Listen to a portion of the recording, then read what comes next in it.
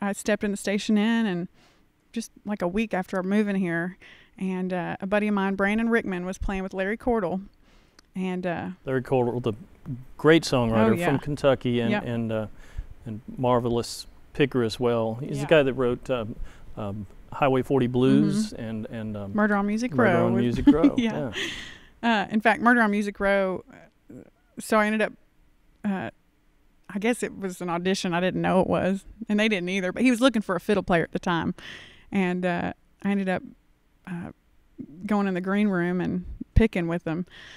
And uh, he called me the next week, and Murder on Music Row had been out that year, so he was, you know, everybody knew who Cord was, um, and he ended up winning CMA Song of the Year that year for Murder on Music Row. But uh, I remember at Belmont, I was still going there, and I was watching the CMAs on on TV, and I had messaged Larry, and I was like, "Man, you're going to be on the CMAs tonight?" And he goes, "Oh, honey," he's like, "I don't know if we'll win this thing." And sure enough, they won it, and wow, that was that was an awesome moment.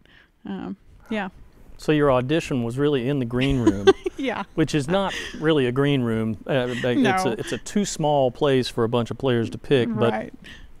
The Station Inn is, I guess, the country's premier bluegrass club, and Yeah.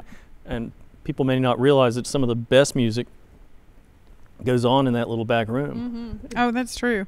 I remember uh, when I the jams that they had.